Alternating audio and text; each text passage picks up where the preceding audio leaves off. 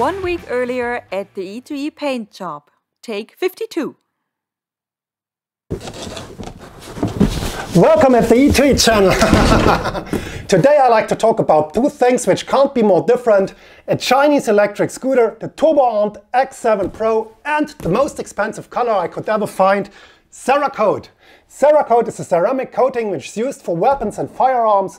And what I like to do is I like to cover my complete scooter in this color because it's purple and everything looks better in purple.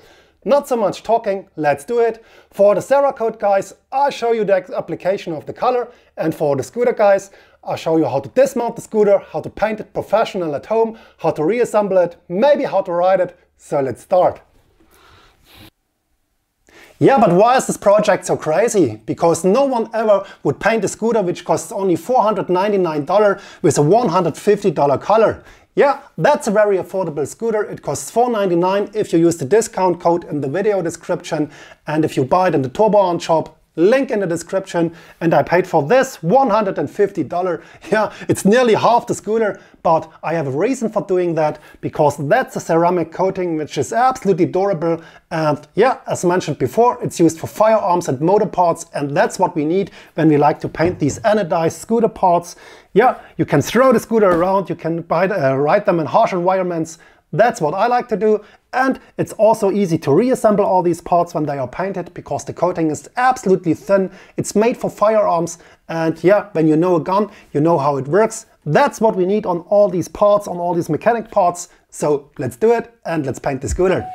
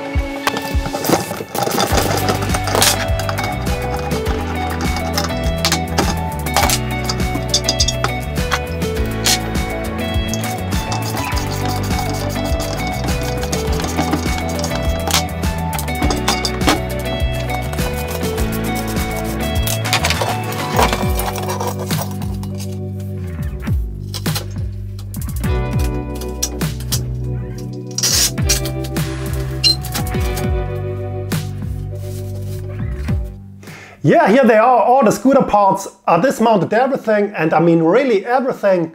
The electronics, the wheels, the fenders, the fork, scooter itself. And what I have to do now is I have to remove this color. That's also a ceramic color, but black, that's not what I want. I want it purple because everything looks better in purple. What we have to do is we have to change to the blasting cabinet. I do media blasting. You can do also a hand sanding by hand with sandpaper. 600 grit to remove the color and you are done. I go the easy way with the media blasting cabinet, so let's do it.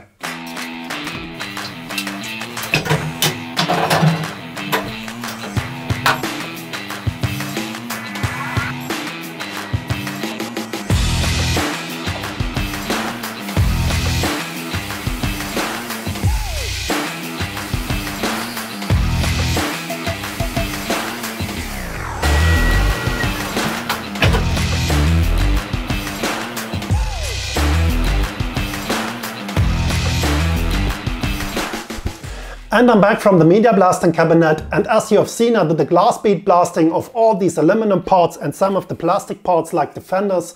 All the parts I like to paint and now let's talk about what's important when you use Cerakote. That's no promotional video, I paid the full price, $150 for only that. That color is very expensive, but there's a reason why I've chosen that. That's a ceramic coating made for firearms, so it has a huge resistance against any impact and heat. I don't need the heat resistance, but what I need is a very strong color with a huge resistance against any impact, because maybe the scooter is thrown on the street or against the wall and I don't want the color to chip off. And if I use primer color and clear coat, that can happen very easy. So a ceramic coating is perfect for these scooter projects. But we have only the coating, no primer, no clear coat, nothing. So we have to be very careful about the preparation of all these parts. Glass bead blasting is perfect because it removes exactly all the old color, all the dust, all the debris, everything. You can do it also by hand, by wet sanding, but you have to be very careful. Everything has to be removed. And when you've done that, you have to clean these parts very careful. And to clean the parts, you can use acetone like this in a spray bottle. There's also acetone in the color, so that's the perfect cleaner for all the metal parts, but don't use it on the plastic parts because some of the plastics can react with acetone and the acetone can destroy the plastics. So what can we do instead? We can use alcohol like this to clean all the plastic parts. That's what I have to do, but before I can clean the parts, I have to remask some areas like the bearing seats on the board and the battery case because I like to paint only the cover, not the battery itself. So I have to do the remasking and when I've done that, I have to do the cleaning. And when you've cleaned the parts, use rubber gloves, don't touch these parts again. You have grease on your fingers and don't leave fingerprints on these parts, that's not good. So when you clean, start to use rubber gloves and never touch these parts again until they are painted, okay? That's what we have to do. I do the masking of the battery, of the board, and then I change to the paint booth. I have to find out how to hang these parts because I've never done a scooter before. That's my first scooter project, also the first time I use Cerakote. So let's find out how it works and let's do it.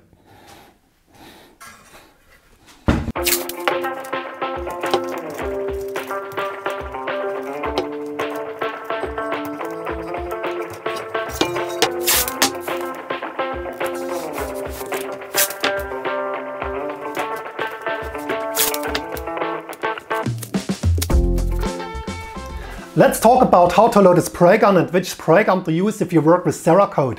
And as you can see you need a bit more like personal safety gear. I'm wearing a paint suit, rubber gloves and the most important gadget regarding safety gear is a proper spray mask with minimum Na2 filter.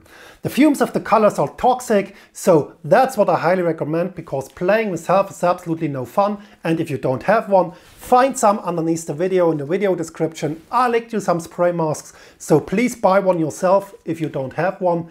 And if you don't have a paint booth, please paint outside because the fumes of the colors are also explosive. And if you don't have a well ventilated room, please paint outside. That's what I recommend. Now let's talk about the spray guns. For Cerakote, a mini spray gun is recommended with a 0.8 needle nozzle combination, that's what's mounted inside, and also an aluminum cup.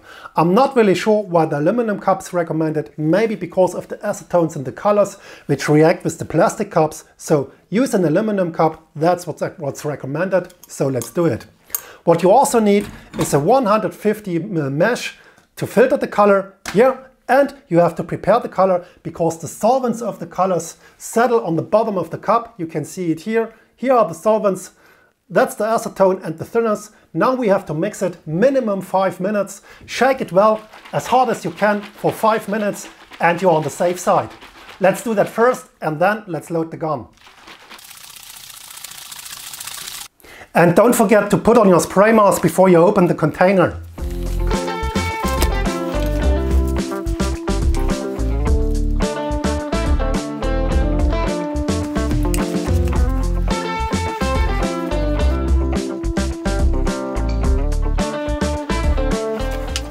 I mounted all the parts I like to paint on my paint stands and sometimes you have to be a bit creative mounting them but what's important is that they are fixed, that you can't twist them or blow them off when you spray color with the pressure of the spray gun. That's very important And what's also important is that they are mounted in nearly the same position like mounted on the scooter, on the bike, on the car. Check the fenders, here you can see it. I mounted them in exactly the same position. They will be mounted on the scooter. That's what a Pro does.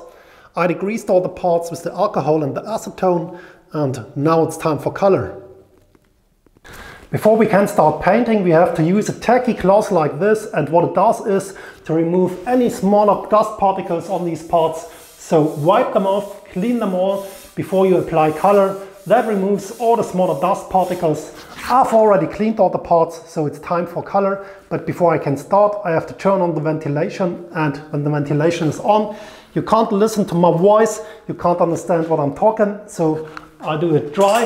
What I do is light coatings, but wet coatings. The color should be wet on the parts, but not too wet. So you have paint runs. So make sure wet on wet, two coats. I start with one, let it dry for maybe five minutes, another one, and we are done. That's what I do Let's put on the ventilation and let's start.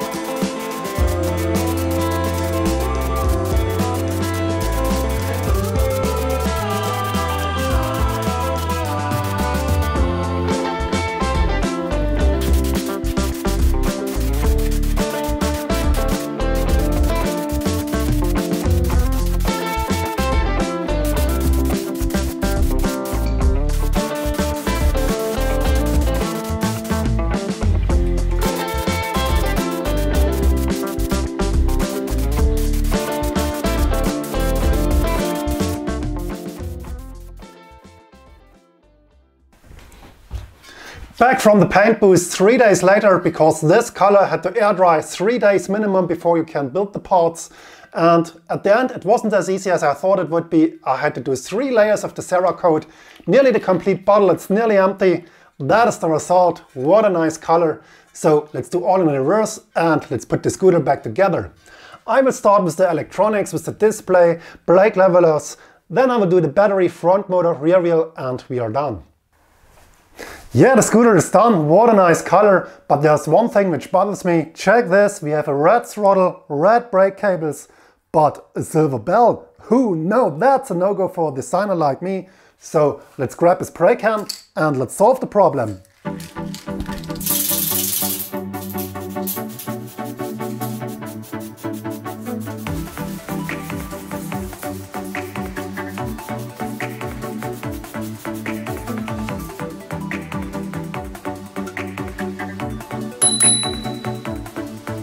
Yeah, problem solved. Now let's go and ride it.